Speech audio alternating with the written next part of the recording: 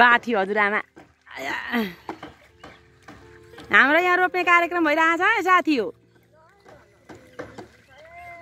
कस्तो राम्रो गरी रोप्नु भएको छ हेर्नुहोस् त।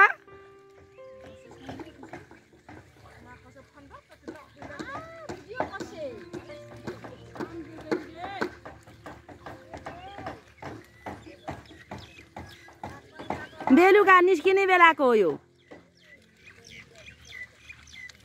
सबैजना अब सकेर निस्किन थाल्नु भएको छ है सकिने बेलाको यो। दिनभरि रोप्नुभयो?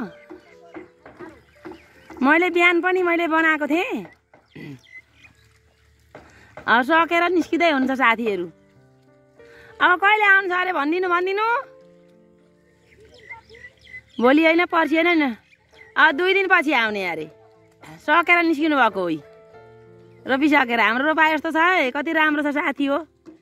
तपाईँहरूलाई कस्तो लाग्छ? राम्रो लाग्छ लाग्दैन? राम्रो लाग्यो भने राम्रो लाग्यो भनिदिनु होला। राम्रो लागेन राम्रो लागेन भनिदिनु होला।